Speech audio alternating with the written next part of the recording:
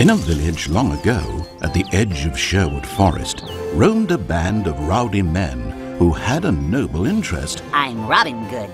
We fundraise from the rich and give to the poor. The times they were tough in the town of Bethlehem, under the reign of Prince John, who was taking all their hams. If he's robbing from the poor, why shouldn't we rob him right back?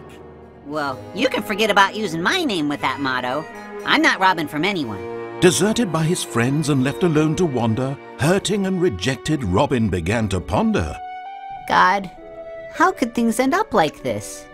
It hurts to be alone. And just when it seemed things couldn't be worse, a giant from the forest appeared like a curse. Will Robin rally back, fight the giants, and save the day?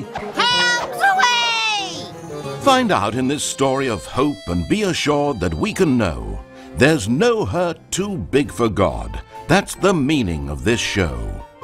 Veggie Tales presents Robin Good and His Not So Merry Men, coming to DVD in spring 2012.